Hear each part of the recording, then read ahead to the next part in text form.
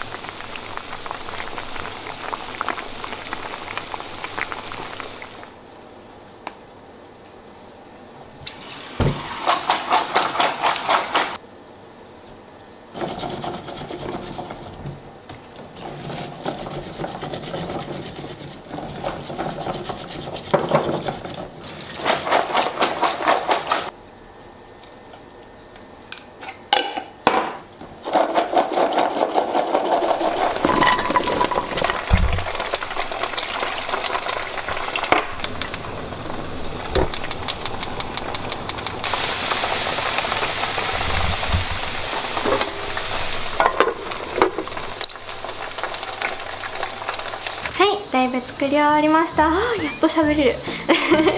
今とうもろこしご飯を炊いております。圧力鍋で。じゃーん。ちょっと平べったくなっちゃったけどガンモがたくさん上がりました。これはあのポン酢をひょーっとかけて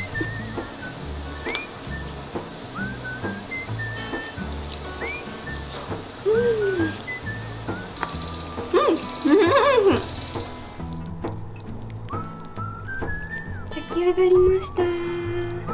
じゃあねとうもろこしご飯も炊き上がったのではい全部完成です。今日は何品作ったんだろう。まあ枝豆は茹でただけなんですけど12345 5品です。